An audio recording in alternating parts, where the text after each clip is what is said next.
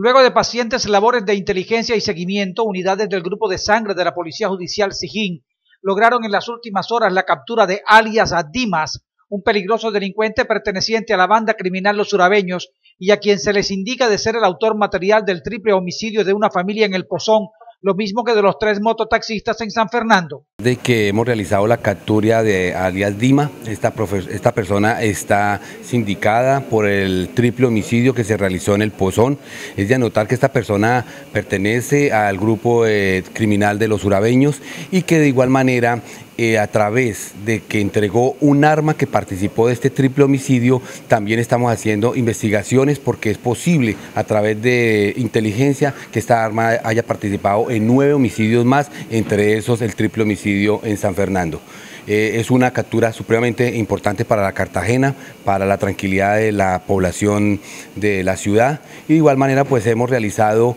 10 capturas más que implican e impactan a seis